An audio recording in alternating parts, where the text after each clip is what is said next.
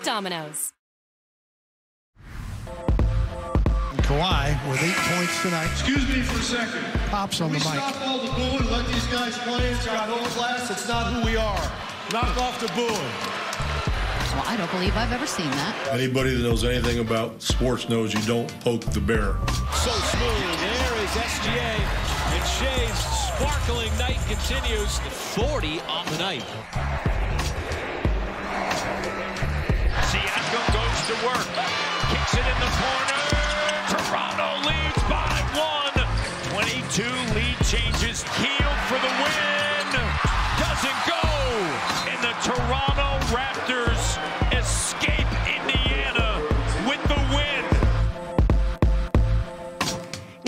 also with the day off on Thursday, so a very good time to talk about all things in the NBA. And our Raptors analyst Blake Murphy joins us now. And Blake, let's of course start with the Raptors, who are seven and eight. And when they're good, they're good, and when they're bad, they're awful. So, what are your biggest takeaways from the Raps so far this season? my biggest takeaway is they have to stop doing themselves such a disservice getting down big in these games. In eight of their last 10 games, they've fallen down by double digits. Now, if you're a really good team, if you're a team that shoots a ton of three pointers, that's something that you can work your way back from. The Raptors have had to scratch and claw to get back in those games. And the ones that they have been able to win have come against the league's 28th, 29th, and 30th ranked defenses. So as the degree of difficulty picks back up later in the season, they're not going to be able to get away with these big holes. They've got to find a way to start games better, as fun as it is when they do make those spirited comebacks. Where do you see Darko Rajakovic's influence on the team?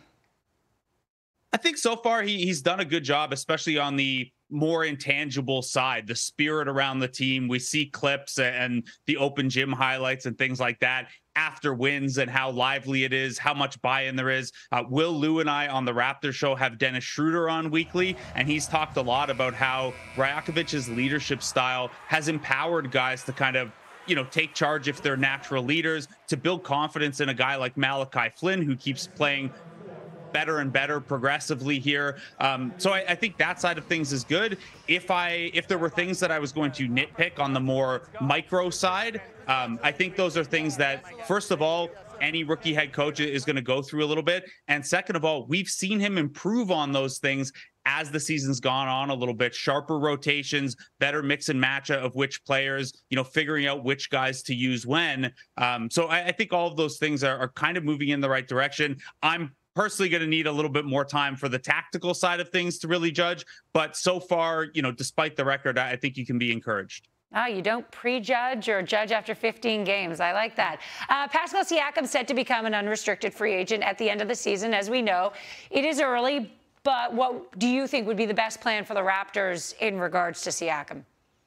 I think for right now they they need him. If they're going to try to do this thing where they're looking long term and developing, and whatever Scotty becomes is going to dictate the future, but they also want to win right now. Siakam's a very big component of that. Um, I know sometimes it looks like his post up opportunities and things like that are coming outside of the flow of the offense a little bit. He's actually the number one ranked player in the entire league right now um, in terms of post up efficiency, both as a scorer and passing out of those situations. So teammates have benefited there. Him and Scotty Barnes, in my estimation, actually have a really nice chemistry here. Lineups where Barnes, Siakam, and Anunoby share the floor have been really, really effective. So short term, I think you can work with it. I think it's getting better. I think it can make sense longer term, you have to decide still if a guy who's about to be 30 and is about to command a max contract is part of the timeline with a 22 year old burgeoning star. And that's something that, you know, you that's that's a bigger question for the front office than just what's happened on the court here so far. I think it's going to be a really tough decision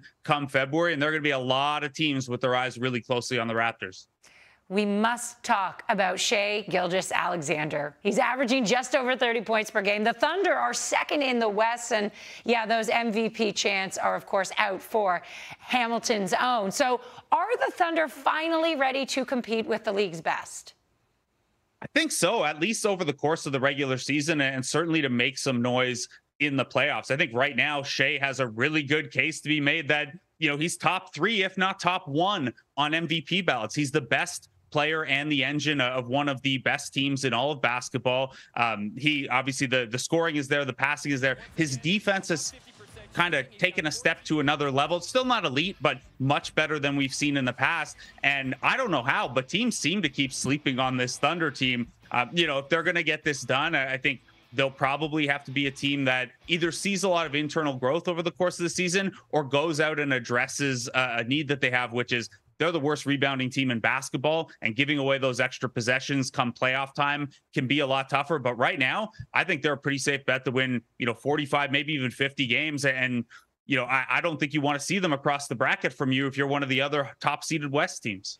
We spent some time in our meeting earlier tonight talking about Gregg Popovich and what happened last night on the court. So I'm going to put it to you, cut or uncut. Pop's telling fans to stop booing Kawhi Leonard with the microphone last night. What do you think? Yeah, cut that out. You, you got to know better. You got to know that that's only going to make them boo more. On top of which, I, I just can't believe there's not a rule that like coaches don't get a technical foul for grabbing uh, the live mic. But in that situation, you got to know that's only going to rile the crowd up more. I felt like it was very principal Popovich, where he was trying to, you know, elementary school, trying to get up in front of everyone and, yeah, quieten them down, and it, it just didn't go like he had envisioned it to go. So, okay, agree yeah, with you. Stands at the door and turns the light off until everyone calms down, uh, but tougher with 18,000. Yeah, adults, exactly. Uh, Blake, thanks as always for your time. Thanks, Ivanka.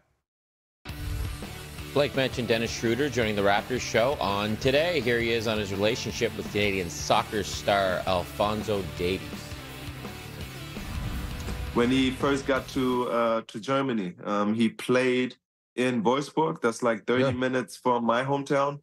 Um, we watched him play there because he had a hell of a hype. You know, he came from the MLS, and yeah. uh, we was just supporting and uh, watched the game. And then from there on, you know, we got connected and every summer when I'm in Munich, you know, I get to see him, um, getting, you know, dinner, um, talk about life, you know, and um, he's a great guy. Uh, I think he's one of the best guys, you know, in in in, in soccer as a person, and of course, always um, great seeing him. And um, I mean, I always appreciate that he's, you know, showing love.